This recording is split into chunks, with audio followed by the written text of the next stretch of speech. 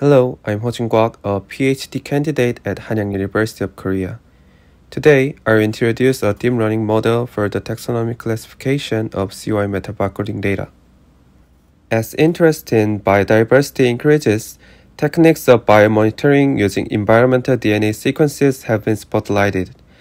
Especially, the cytochrome C oxidase subunit 1 gene, ensured COI gene, has been widely used as a taxonomic marker.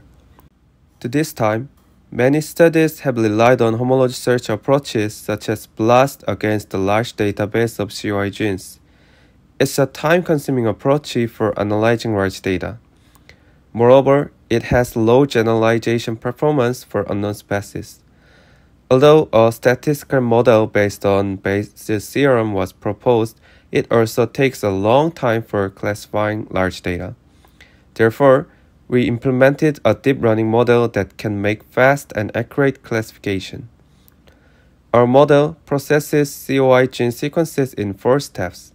First, the tokenizer splits the input sequence into a list of k-mers and converts each k-mer into corresponding input IDs. Then, each token is going to be embedded into embedding space by a pre-trained language model. To do this, we pre-trained a BERT-based model using COI gene sequences reported in the BOLD database. After an embedding matrix is generated by the language model, this matrix is going to be aggregated into a single sequence representation vector by a pooling layer. In our model, 1D CNN and max pooling layer were used as pooling method. A sequence representation vector is finally passed into a multilayer perceptron and max constraint module to predict taxonomy. To train our model, about 7 million COI gene sequences were downloaded from the BOLD database. 5% of them were kept for test data, and all remaining sequences were used to pre-train the language model. Among downloaded sequences, a total of 8 phyla were selected following the criteria shown. For these 8 phyla, taxonomy classifiers were trained separately.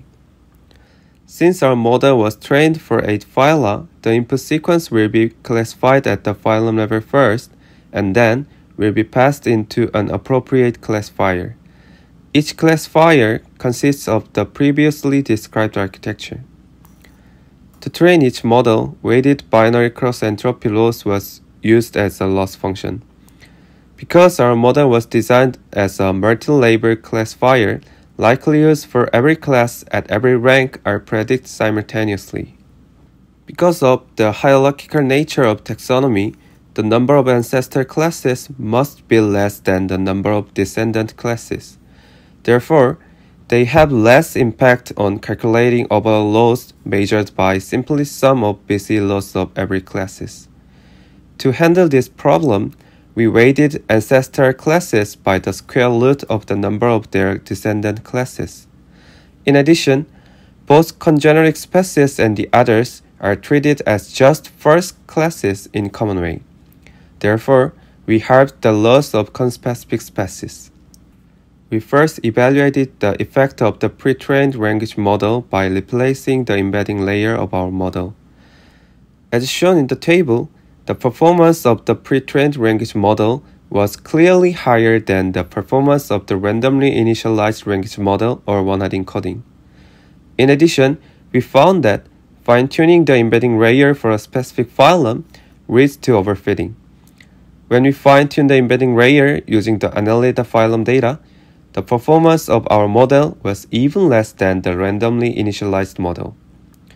We concluded that self-supervised running using a large dataset is enough to run the general context of COI gene sequences. We also evaluated the weighting technique trying to reflect taxonomic structure into loss function. It's clear that weighted BC loss enhanced the model performance for ancestral lengths. We compared our model with a naive Bayesian classifier. Both models were trained using the same data. For phylum level classifier, our model clearly outperformed a naive Bayesian classifier. And our model was also outperformed for 8 phyla at every rank in AUROC and AUPR. Finally, we tested our model for real-world sequencing data. we downloaded three Rutherford mock datasets. Compared to the naive Bayesian classifier and BLAST search, our model made accurate predictions in much faster time. Thank you for listening to my presentation. If you are interested in my research, please visit the poster session at the conference.